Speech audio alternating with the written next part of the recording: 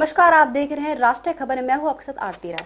खबर राजस्थान के चित्तौड़गढ़ ज़िले की, जहाँ जिला राजकीय सावलिया जी महिला और बाल चिकित्सालय में लगे पालन गृह में इस वर्ष में तीसरी बार घंटी बजी। जहाँ नर्सिंग स्टाफ द्वारा पालना गृह में देखने पर उसमें नवजात बालिका मिली, जिसका चिकित्सकों द्वारा उपचार किया गया।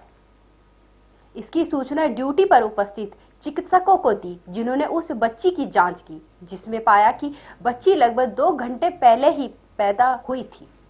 और इसके पश्चात चिकित्सकों ने उसे गहन चिकित्सा इकाई में ले जाकर उसका उपचार प्रारंभ किया, जिसकी सूचना बाल कल्याण समिति की अध्यक्ष सुशील लड्डा को दी गई। सूचना मिलने पर सुशील लड्डा मौके पर चिकित्सालय पहुँची और बालिका की स्वास्थ्य के बारे में जानकारी प्राप्त की।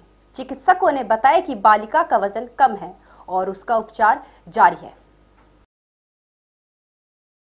कल पालना गृह में रात को आठ बजे, घंटी बजी तो ड्यूटी स्टाफ ने जाकर देखा तो एक बच्ची वहाँ थी पालना गृह में।